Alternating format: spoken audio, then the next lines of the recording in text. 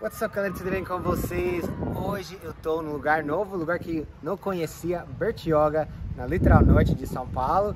Eu conheci já Santos, que é um pouco mais para norte, já conheci é, São Sebastião e Ilha Bela, mas isso fica do lado do Guarujá, que é lá, bem bonito esse lugar, bem tranquilo. Esse é o canal de Bertioga, que é bem bonito, perto do centrinho. A gente está aqui no Forte de Bertioga, tem muito, é muito importante na história do Brasil. Então hoje a gente vai conhecer um pouco sobre a história, a gente vai talvez provar algumas comidas. Isso é novo para mim, então para alguns de vocês vai ser novo. Para quem é de Bertioga, deixa um comentário lá embaixo e vamos ver essa cidade linda e começando com essa forte que eu acho que é um dos primeiros fortes, não é o primeiro, você pode me corrigir, aqui, tipo, feito em 1532, então quando brasileiros já começaram a povoar essas, essas terras, tipo, eles chegaram 1500, mas não povoar, povoou tanto porque eles estavam lá no Índio fazendo outra coisa, mas enfim, começar a criar um forte aqui de pau a pique, acho que se chama, mas já tinha um forte índio aqui, já um, ter, um território meio brigado entre dois grupos de índios, acho que Tupinambá e Tupiniquim, um é de Ubatuba, um é daqui de Bertioga. A gente vai saber um pouco mais sobre essa história é, daqui um pouco, mas e também antigamente era os franceses tentam tomar posse desse lugar, mas os portugueses defendiam, por isso estou falando português com você e não francês. Esse forte é uma das razões. É, também caçava baleia, mas tem muita história para contar, mas vamos devagar conhecendo e um dia lindo, dia de tirar fôlego aqui no Litoral Norte. Aqui era o lugar de caçar baleia. Nossa, que, que dor, mas antigamente usava o, o óleo de baleia para iluminar as, as luzes do tipo de antes se tinha eletricidade. Você tem várias cidades que tem uma coisa assim, lá no, lá no Aporador, é, também era lugar de caçar baleia, acho que a Massa de Fuzes também, então eles caçavam muito baleia, não sei se tem mais baleia ainda por essas partes, porque caçavam tanto mas que tem aqui é uma vista bonita. E hoje tem uma, uma coisa bem especial, não sei se a gente vai conseguir ficar, mas tem uma, uma festa, uma comemoração das etnias da, dos índios, é, tipo, acho que é dia dos índios, e várias diferentes etnias vêm uh, aqui para mostrar a cultura deles, a arte deles, as danças deles, as, os, os costumes deles, então eu acho que vai ser uma noite bem legal aqui nesse parque.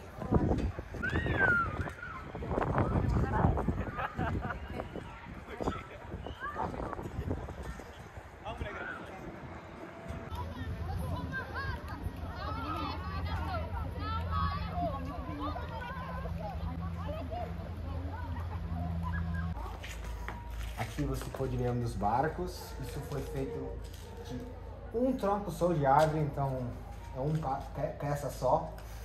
E é isso como eles tipo navegavam nos mares. Agora você pode pegar uma balsa aí para chegar no Guarujá, mas antigamente era, era só o barco assim. Mas é um produto bem bom, não sei se é original ou não. Não sei que, de que idade tem. Esse, esse é, prego parece um pouco mais moderno, mas vamos, vamos, eu, eu estou descobrindo com você. Quem tem informação mais que eu, pode comentar. Agora a gente vai ver uma arma muito grande do, dos indígenas. Não nem vou falar, sei te falar, mas eu acabei de ouvir é, é para quando eles falam, mas o maior, o mais distante e mais forte que tem. Vamos ver. Não sei que é, que é o nome que, que é. Vamos ver se consigo achar aqui. A produção acabou de me falar que é arabatana. Isso é uma grande arabatana. Já viu arabatana desse tamanho na sua vida? Ou também uh, essa confederação de tamoios, que eu acho que foi quando eles se juntaram. Então, se você conhece uh, as estradas chegando aqui, você tem Anchieta, que foi o jesuíta que chegou aqui para catequizar os índios. Tem Tamoios, que foi uma confederação dos índios que que lutava contra os tupis. Vamos ver aqui, pra, pra, um pouco te conto. Você pode ver algumas das etnias, Guarani, Xingu, Tororó.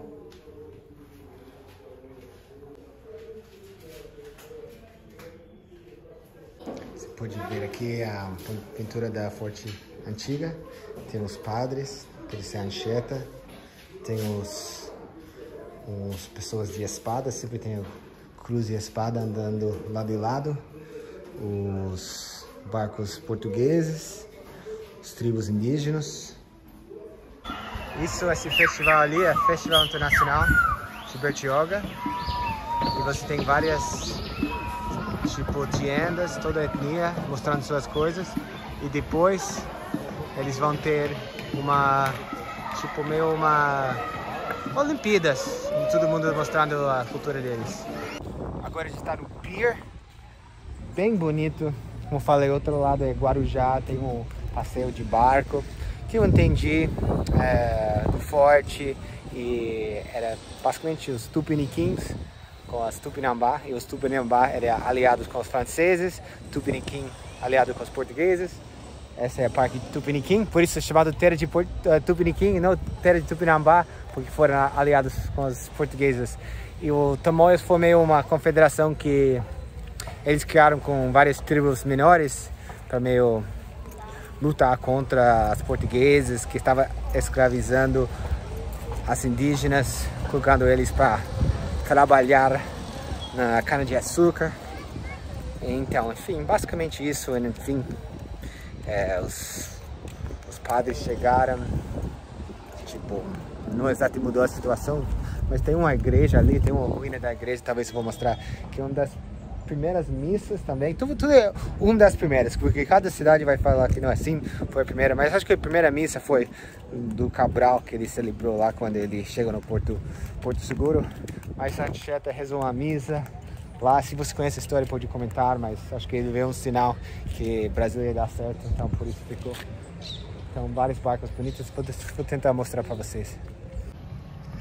Não sei se dá para ver aqui a, a igreja, não a pessoa remando, mas a igreja ali, a ruína da igreja. Acho que tem uma pequena rixa entre as pessoas de São Vicente, que diz que foi a primeira cidade, e Bertioga, quem tem o, o Fortaleza, o forte mais antiga. Aqui eles falam que era aqui, provavelmente em Bahia fala que foi lá, então... Não sei, você pode comentar. Se você discute educadamente, pode discutir lá nos comentários. Mas tudo com educação, né? Agora a gente tá no mercado de peixe. Sempre gosto de, quando estou perto do mar, visitar os lugares de peixe, ver que o peixe tem no local. Tem uh, tainha, nosso salmão, que não, não vou tentar falar tantos desses nomes, mas o cheiro é bem bom, bem fresca, as sardenhas. É sempre bom falar com os pescadores. Pescadores sempre tem uma história boa ou outra. Olha esses peixes bonitos. É...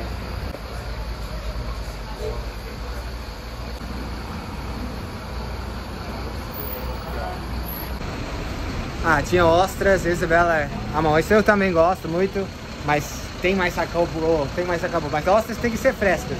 Tem que ser frescas, mas ó. Ah, quantidade, acho que a gente ainda vai na praia, a gente não pode pegar agora. Mas se estiver aberto, quando a gente volta, eu pego umas peixes pra gente fritar mais tarde. Olha o nome tamanho desse peixe. Peixe chamado namorado. Olha esse polvo e lula. Gostoso. Amo polvo, amo lula. Hoje a gente já viu namorada grande e rosa pistola. Olha esse camarão pistola, pistolona. Sardenha grande. Pra gente, sardenha é sempre menor, mas... Agora chegamos na praia, é Guaratuba. Tem várias praias, a gente passou na praia de Enseada. Agora é uma praia bem, tipo, natural, bem na natureza, bem selvagem aqui onde o, o rio, tem o rio ali, que ele encontra o mar, bem sossegado. Agora eu tô ainda sem comer, eu só comi um, comi, eu almocei, não, não almocei, eu comi café de manhã, eu bebi um, tipo, suco de milho lá na, lá na descida pra, pra Bertioga, então vamos tentar achar uma quiosque de bom pra matar o fome.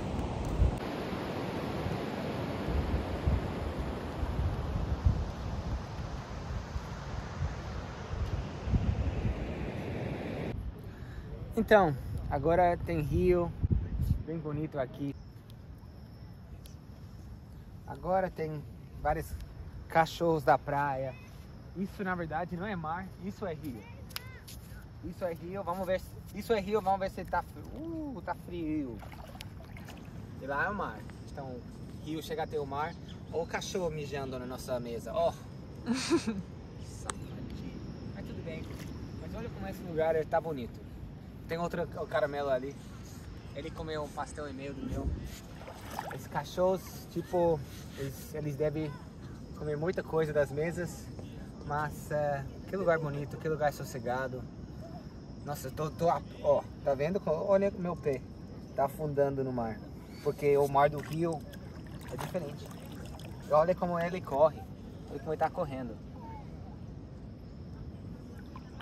Acho que tá frio demais para entrar, mas lugar e tira fôlego, tira fôlego.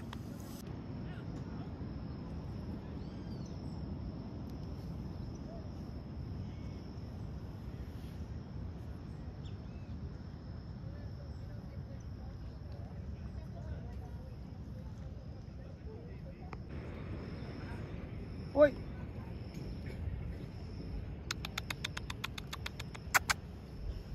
Caramelo. Tem que ser um caramelo pra comer qualquer é, coisa. Cara, é, caramelo tem menos frescura. Você tem muita frescura. O que? Você só come comida orgânica? Isso é gato ali? Isso é jaguatirica.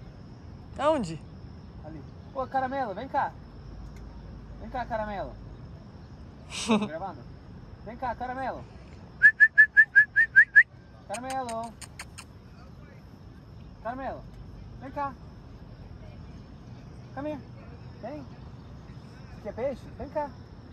Tô te oferecendo. Tô te oferecendo. Vem cá, aqui. Aqui, ó. E esse peixe deve estar ruim mesmo, que nem cachorro quer comer. é, esse caramelo vai comer, caramelo uhum. Isso eu nunca vi. Um gato na praia. Com o cachorro brincando. Ó, fazendo coisa de gato. Olha o tamanho desses, desses galos. O galo tem 20 quilos a mais do que aquele gato, ó. hey, buddy. Difícil falar com cachorro em português. De falar com cachorro em inglês. Cenário bem bonito, bem rústico e praiana. Os galos comendo não sei o que. Esses árvores bem bonitos que caíram na tormenta. Ó, isso é um gavião, né? Isabela. Esse foi nosso tour em Bertioga. Espero que você tenha gostado. Comenta outra cidade que eu preciso conhecer aqui no Brasil lá embaixo. Até a próxima, galera. Peace!